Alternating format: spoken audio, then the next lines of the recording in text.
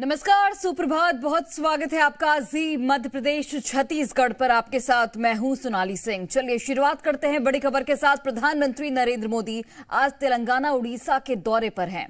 तेलंगाना के संगारगेड्डी संगारेड्डी माफ़ कीजिएगा संगारेड्डी में विकास की सौगात आज वो देने वाले 6,800 करोड़ के विकास की सौगात प्रधानमंत्री नरेंद्र मोदी देंगे। उड़ीसा के चंजीखोलो इसके अलावा जाजपुर में विकास की सौगात देने वाले हैं। उन्नीस हज़ार छह सौ करोड़ की परियोजनाओं का भी लोकार्पण प्रधानमंत्री नरेंद्र मोदी करने वाले हैं।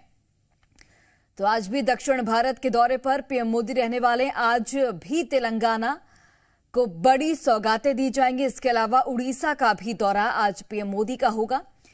तेलंगाना के संगारेड्डी में विकास की सौगात देंगे। 6,800 करोड़ के विकास की सौगात दी जाएगी। इसके अलावा उड़ीसा की अगर हम बात करें तो उड़ीसा के चंजी खोले इसके अलावा जाजपुर में भी 19,600 करोड़ की परियोजनाओं का लोकार्पण पीएम मोदी करने वाले हैं।